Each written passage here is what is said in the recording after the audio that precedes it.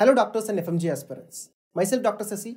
I cleared my FMG in Jan 2023 with a score of 238 and I completed my NEET PG with a rank of 1401 in 2024.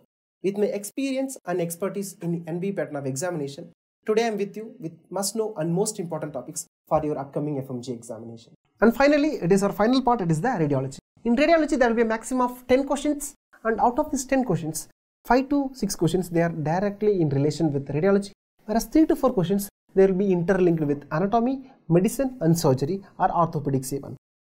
So just remember there will be around 10 questions from radiology.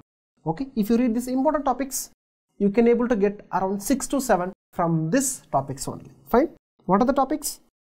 The most important one it is the effects of radiation and side effects of radiation. So what are the side effects of radiation? Next one, this they were asking about this size of the lead apron. Fine.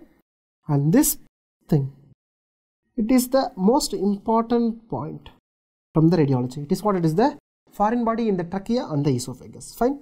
And you should know about this neuroradiological imaging. There will be disease with the spotters and also you should know to identify which of the following part from the brain it's fine and from the abdominal part you should know about how to diagnose this pneumoperitoneum what are the x-ray findings and from surgical perspective you should know what is the next step in management. So whereas this pneumothorax mostly will diagnose from the surgical perspective only. Fine? And in prenatal ultrasound you should know how this anencephaly looks like and how much is the NT thickness and you should also be able to diagnose this posterior valve and the intrauterine device. Okay?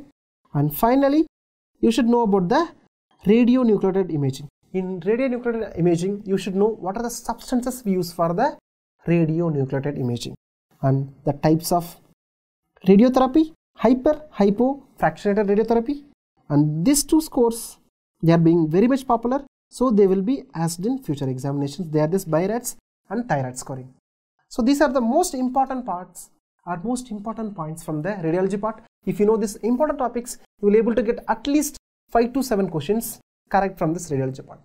Just remember one thing, that time is now. So you should make use of this PDF or this video for sure. And if you able to make use of this video, you will able to get your pass mark and you will able to get maximum mark from your FMG examination.